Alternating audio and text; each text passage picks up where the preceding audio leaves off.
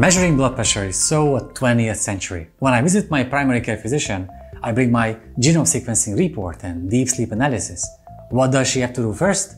Measure my blood pressure with an inflatable air bladder cuff that she pumps up by hand. Such an old technology that we probably all have memories from our childhood when our grandparents were using it and we were just wondering what the device might be. But unfortunately, as we grew up, this particular device stayed almost exactly the same for a long time. Then came blood pressure cuffs that you can wear on your wrist, which was more comfortable to use and you only had to lift your arm to get an accurate reading. And then Omron came up with the first ever smartwatch that claimed to measure blood pressure but it was a big enough watch to accidentally knock someone out with, so not exactly comfortable for the average user.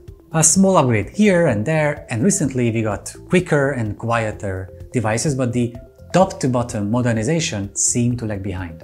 It's a Swiss startup's new tech that finally marks the arrival of the long overdue breakthrough. The heart of their idea was to design a bracelet that's small enough to be comfortable all day while staying accurate to be able to continuously monitor a person's blood pressure.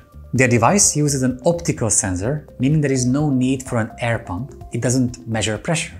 It uses a pulse wave analysis and can derive precise blood pressure signals from it. I honestly thought that that's the future of blood pressure measuring. But other companies even go further and develop nanoscale pressure sensors that eavesdrop to the pressure pulsations inside the radial artery which is claimed to be an even more accurate method. The takeaway is this.